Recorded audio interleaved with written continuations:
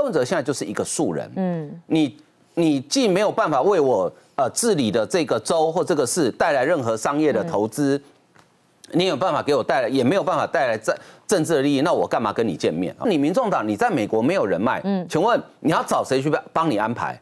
所以我觉得柯文哲这一趟去访美，呃，其实是。可以不用去啦，但是因为我的研判是他很想选总统啦，所以他还是想，所以他还是非去不可。所以我觉得最近认知作战越来越多了。为什么呢？因为中国现在面临到内忧外患嘛，经济搞不定，政治方面也出现问题。那请教一下董老师哦，因为我觉得蛮大的一个压力呢，是美国对于台湾的态度，包括呢，蔡英文现在呢说要跟这个麦卡锡来会面了，但是呢，最后拍板说是在加州来会面麦卡锡。那现在原因也曝光了嘛？好，因为是考量到美。美中台的三方关系，所以最后呢选择在麦卡锡，呃，最后呢选在麦卡锡，选在加州的地区哦。那其实呢，现在美国国务院也说，台湾官员过境美国，其实也不是新鲜事嘛。好，呃，在讲蔡总统访美之前哦，我我先补充一下刚才那个，就是中国的那个政协哈，他提案哦，他的提案是怎么提的？他是说开战以后，啊，要这个哦列出所谓的台省分裂势力黑名单。嗯，请注意，他讲的是台省分裂势力黑名单。按照这个标准，台湾有百分之九十七的人都要枪毙。嗯，为什么？台哎，台省分裂势力指的是说，只要你不是赞成哦一国两制统一中国，而且统一在中华人民共和国，啊我们台湾省嘛，我就要枪毙你。他是这个意思。按照这个标准是超过百分之九十七，因为民调台湾哈支持哦，就是说可以接受一国两制的不会超过百分之三，所以所以呢，那个政协哈对那个政协人士呢，没有把台湾人当人看，嗯，而且是全部不当人看，所以说我觉得这一点哈，这个恐怕我们自己要要坚定抗中保台的这种信心，抗中保台其实没有错误。好，呃。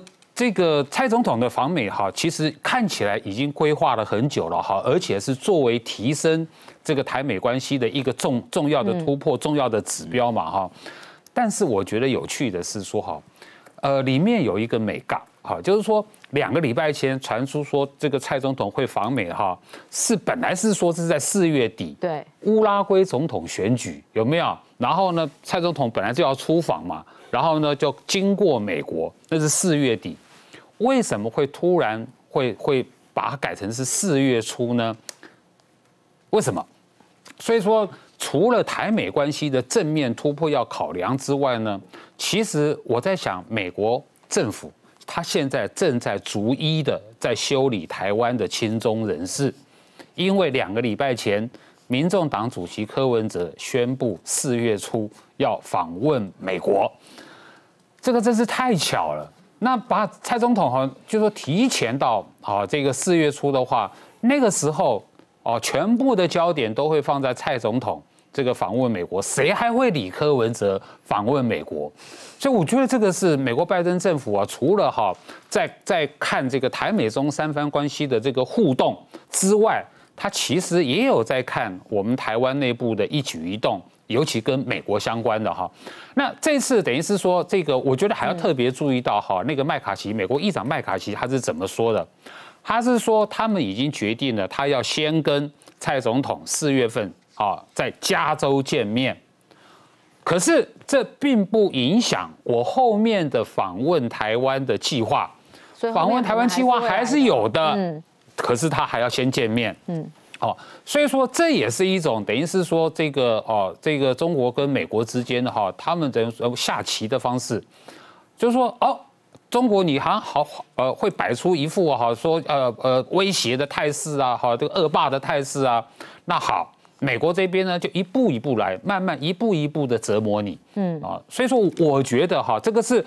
啊，美国国会啊，还有美国政府呢，哈，其实呢，他们相互之间的一个啊，我觉得是经过非常精密的计算，啊，所以说在这种情况之下，哈，怎么样的哈，更有力的来促成台美关系稳定的进展，啊，然后呢，来促成呢，哈，这个啊，这个哦，我我们的总统蔡总统访问美国的顺利，啊，我觉得是美国政府的好考量。嗯嗯，好，我们请教一下晃哥哦，因为其实蔡总统这样的行程啊，让大家说，其实很多人可能柯文哲他也想要方便，但他当然也想要看到这样的成绩啦。但现在居然爆出说行程安排未如预期，因为很多人说哦，因为呢双方见面的层次落差太大了，一定会比较嘛，所以呢柯文哲访美的效应会不会被拉低呢？现在看起来好像真的哦，不是说他见不见得到，是人家不见你嘛，很多要角已读不回，什么经过很多的州长啊、市长啊、德州啊、休斯顿市啊、波士顿市，大家已读不回，哎，而且还报拜托了这个商业的力量嘛，民众党立委吴新颖，还有这个政界的第三方力量，哎，感觉起来好像这个门有点敲不太开嘛。嗯，其实政治是很现实残酷的哈。呃，美国这柯文哲想见的，包含州长、包含市长，其实大家都很忙哦。那他没事干嘛？对他没事干嘛见你？对，他没事干嘛见你？我有事更不可能见啦。对，那呃要见，就是说美国的政治人物要不要跟台湾去的政治人物见面，基本上两个原则啊。第一个原则就是基于政治的考量或是政治的利益，就其实互相，就是说你看以麦卡锡来讲，因为裴洛西他。是呃前议长，他来台湾。对，那麦卡锡你如果不来的话，或者说你不跟蔡英文见面，在政治上你是会被扣分的。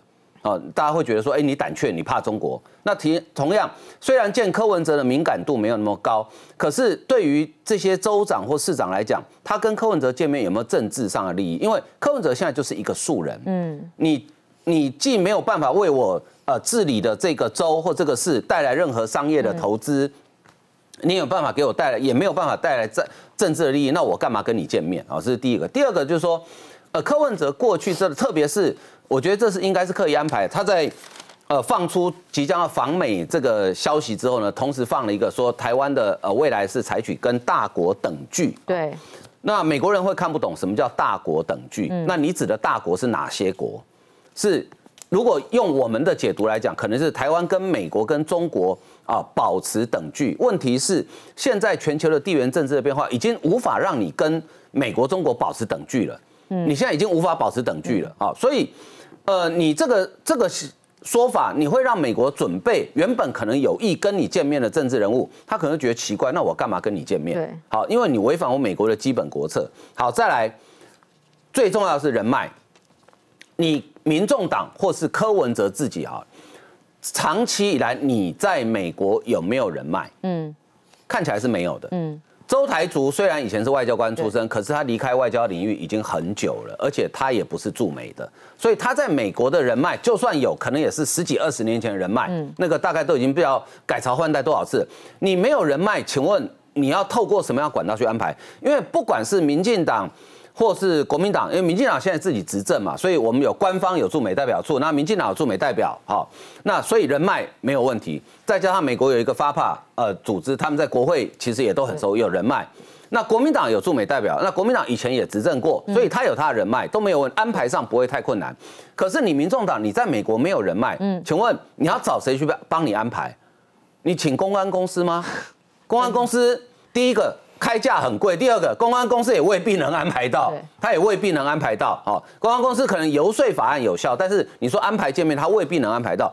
所以在这种情况之下，柯文哲见不到重要人物，这很正常啊。对，难道柯文哲你还有一些不服呃不切实际的期待吗？你觉得你可以见到白宫的国安会的人吗？你你觉得你可以进到国务院吗？别傻了好不好？你能见到州政府就很不错了。所以我觉得柯文哲这一趟去访美，呃，其实是。